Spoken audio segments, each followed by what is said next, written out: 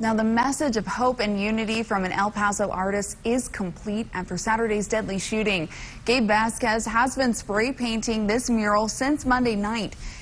Inside the words El Paso Strong, you can see some famous landmarks like the Franklin Mountains and the El Paso Star. Vasquez was born and raised in El Paso and says this is an important time to stand together to have a timeless piece like this, you know, that people can come and take pictures of and embrace that empowers the city. Dude, whoa. Also, another part of me that wants someone to see this and be like, heck yeah, bro, that's my city. We're El Paso Strong. I'm El Paso Strong. It's a beautiful mural, and it's off of Arizona Avenue and Cotton Street in central El Paso.